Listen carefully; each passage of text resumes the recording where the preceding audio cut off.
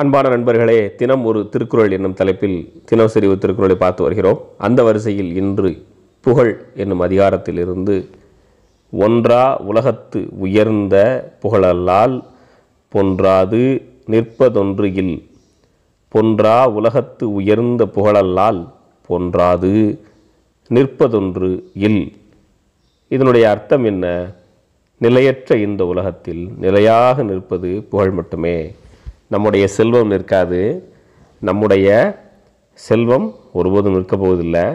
நாம் யார் அப்படிங்கிறத வாழ்ந்து காட்டி நமக்கான புகழை சேர்த்து வச்சிருப்போம் இல்லையா? அந்த புகழ் தான் வந்து ஒரு மனிதனுக்கு நிலையாக நிற்கும்.